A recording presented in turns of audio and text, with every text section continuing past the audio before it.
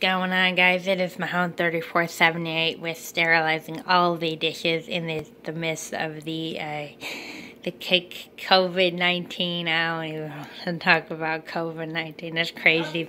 There are people going around to your doors and acting like law enforcement saying we're here to check for the coronavirus. So, just wanted you to be aware of that and the craziness that's going on around me.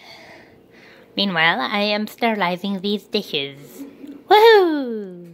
Yeah! And we've survived a bubonic plague.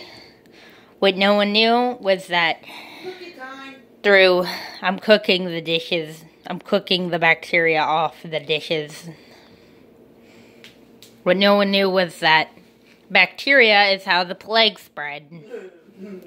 So people did some pretty weird things back in the bubonic plague. Go watch the documentary if you haven't already. Um, it's called The Black Death documentary, I believe. Anyway, bye.